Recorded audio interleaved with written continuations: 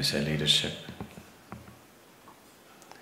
most of the time, any kind of leadership training is spent on learning to manage situations, people, money, property.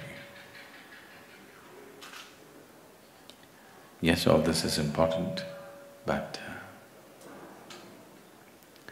how could you… essentially a leader means uh, you must be able to manage a few thousand people. Or in other words, you're trying to manage a few thousand minds. But if you're incapable of managing this one, this mind, how will you manage that mind? Just by chance. When you're managing situations by chance, you will be always freaked. Anxiety and leadership has become synonymous today because you're managing people by chance. If you cannot manage this one, managing that one is definitely by chance. So one of the most significant aspects of leadership has been generally ignored or people have acquired this out of their own natural capabilities. When you do things accidentally, being anxious uh, is very natural. And today we have enough medical evidence to prove that if you're not in a very pleasant state of mind, then your body and your mind will never function at its optimal level. There is substantial medical evidence towards this. Only when you're very peaceful and blissful, your body and your mind works at its best. And your success in this world is just this. To what extent can you harness the capabilities of this physical body and this mind? That's all success is. It doesn't matter what is the nature of your activity, that's all it is. Is it so? And the most fundamental and the basic requirement to make your body and mind work properly, sensibly, in the highest possible way is that if you sit here, you must be in a state of pleasantness within you.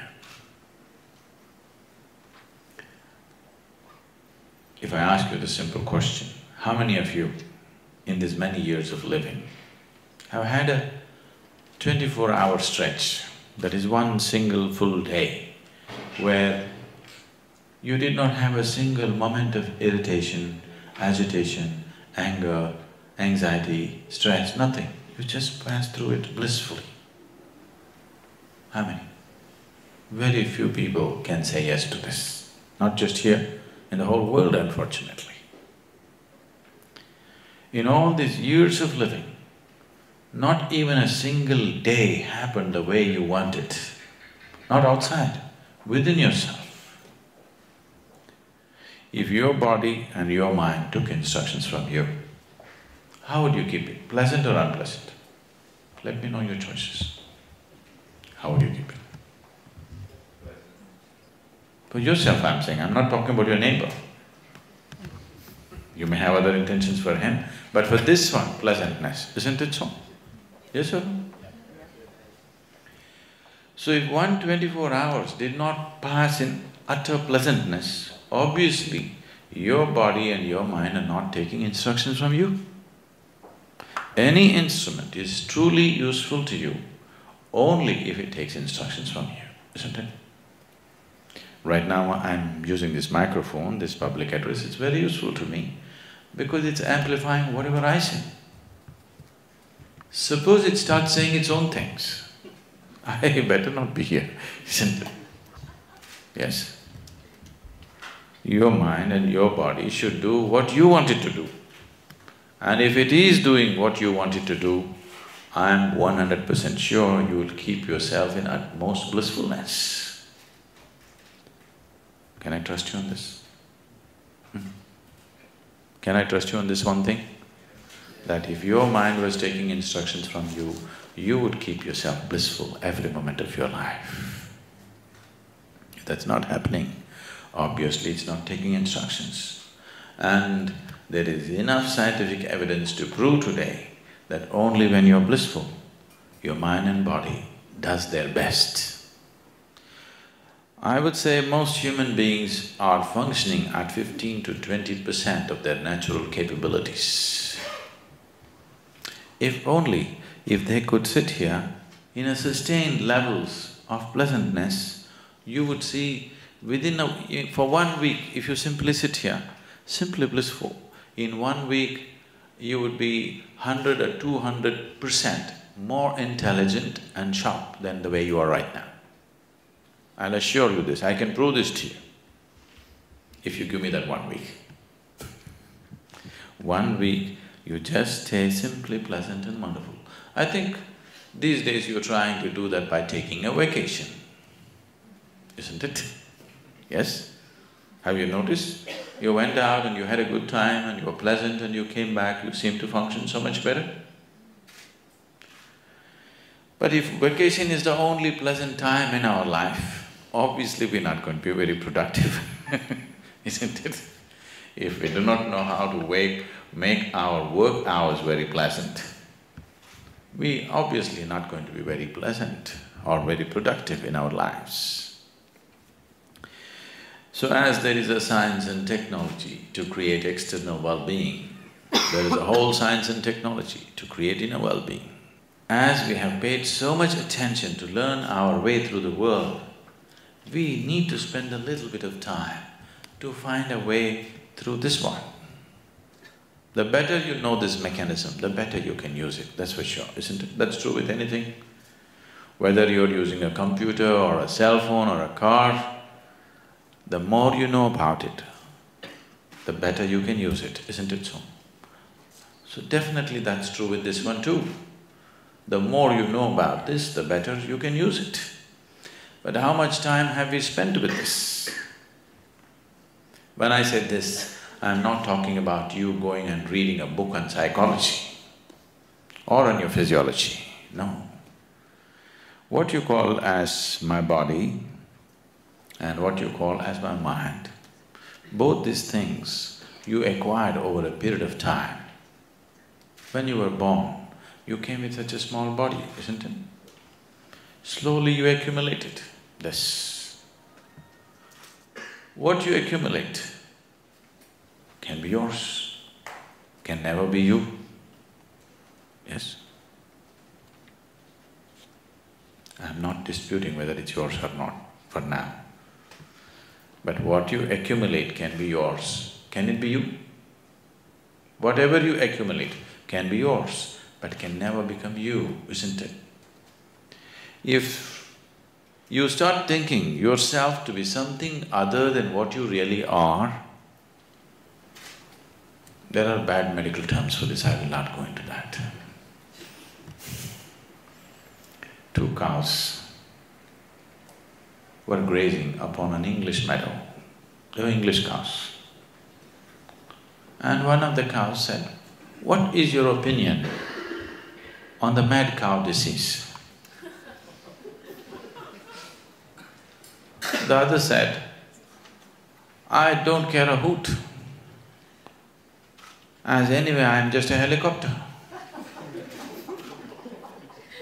Okay? If you think yourself to be something other than what you are, there are bad words for that, I won't use such things upon you. But it's very, very, very important, especially people who are in positions of power positions of responsibility, that every action, every thought, every emotion that you generate has impact on many lives around you. When you are in such a position, it's extremely, extremely important that this one is in a state of utter pleasantness and well-being, isn't it so? Hmm? If your life was just your own nonsense, it's up to you. Once you say, I'm a leader in some place, Everything that you do, the way you think, the way you feel, the way you act, has impact on a few thousand lives. When that is so, it becomes of paramount importance that you take care of this one in a completely different way, not just being physically healthy, much, much more than that. Right now, unfortunately, most people's well-being is so fragile, just about anybody can hijack it. You went out today and somebody told you, you are the most wonderful person in the world. And you were floating on cloud. What number? Nine? You do only nine? In South India we do eleven, you know. you were floating on whatever number cloud and you came home and people at home told you who you really are. It's a very fragile well-being, isn't it so? Just anybody can hijack it, just anybody. It doesn't take some earth-shaking event to hijack your well-being, please see. Anything can stress you, anything can make you anxious, anything can make you disturbed, anything can make you lose your sense of joy and peace. Now, in this state, your ability to use, your ability to manifest the capability of who you are is not at a very high level. Unfortunately today, most people when they use the word human, they're always using the word human as a bundle of limitations. If someone says, oh, I'm only human, he's not referring to the possibilities of being human. He's not referring to the immensity of being human. he is only referring to the limitations of being human, isn't it so? Yes. When someone says, I'm only human, he is only talking about his limitations. These limitations have become significant, mainly because of the kind of identities that one takes on. And above all, because even this one is not happening the way you want him to be. See, in your life, nobody happens hundred percent the way you want them, isn't it so? Has anybody happened in your life? Your parents, your friends, your spouse, your children, none of them happen hundred percent the way you want them. These days, not even your dog, he does his own thing.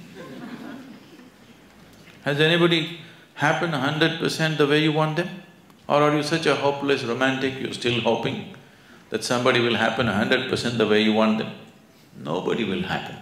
They'll happen to some extent. If they happen fifty-one percent the way you want them, you are doing great. Yes Yes or no? If people are happening, uh, people around you in your life are happening fifty-one percent the way you want them to be, that means you're doing great, your stake is good. So nobody happens the way you want them to be.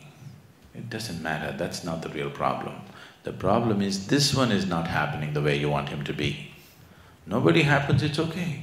This one person must happen the way you want him to be, isn't it so? Yes? If this one doesn't happen, it's a lost case. If this one did happen the way you want him, I'm sure you would keep him in the highest level of pleasantness and well-being.